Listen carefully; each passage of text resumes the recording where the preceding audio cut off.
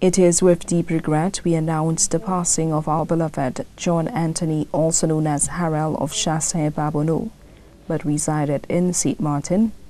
He passed away on Monday, August 1st, 2016, at the age of 53 years.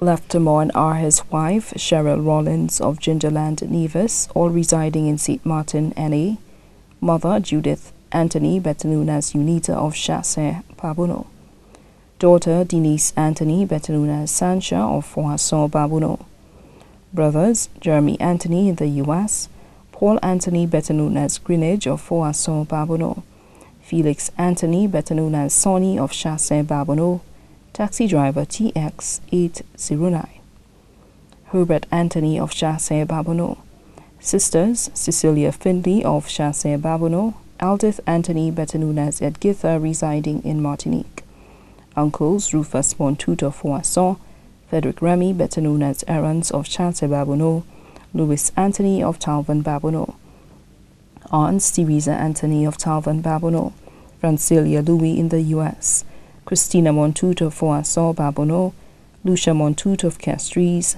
Jenny Montoute of Castries, Mona Montoute of Castries, Mary Montoute of Foisson, 10 nephews, 7 nieces, 20 cousins, special cousins, Junior Remy, better known as Sexy, residing in Tortola, Joseph Anthony, residing in the U.S., other family members, too numerous to mention.